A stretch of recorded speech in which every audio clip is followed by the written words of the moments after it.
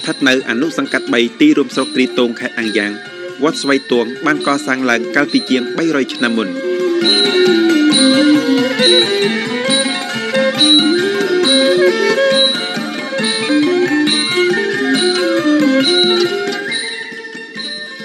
ពេលទៅតែកសាងវត្តស្វ័យទួងបានសាងសង់ពីឈើនិងប្រក់ស្លឹក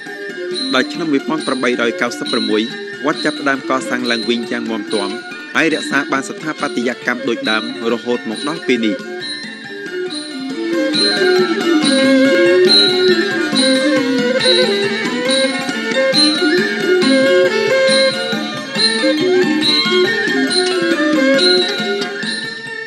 វត្តស្វ័យទួងមិនត្រឹមតែមានស្ថាបត្យកម្មដ៏អស្ចារ្យប៉ុណ្ណោះទេថែមទាំងជាកន្លែងរក្សាទុកសាត្រាស្លឹកគ្រឹះជាង100ច្បាប់ទៀតផងឆ្នាំ2006មជ្ឈមណ្ឌលសៀវភៅកំណត់ត្រាវៀតណាម បានកំណត់បញ្ជាក់វត្តស្វ័យទួងគឺជាវត្តដែលថែរក្សាទុកសាត្រាស្លឹកគ្រឹះច្រើនបំផុត